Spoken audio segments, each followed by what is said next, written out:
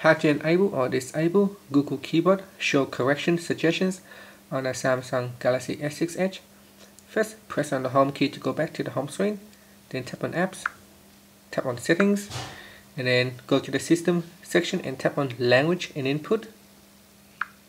From here, tap on Google Keyboard, then tap on text correction.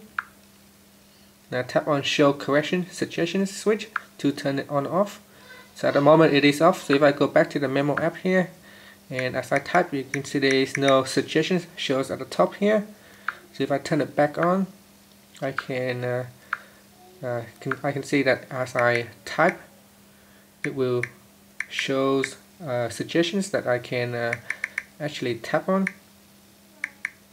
So here it is, it shows the word important, that, that's the word I want, so I'm going to tap on it to use it.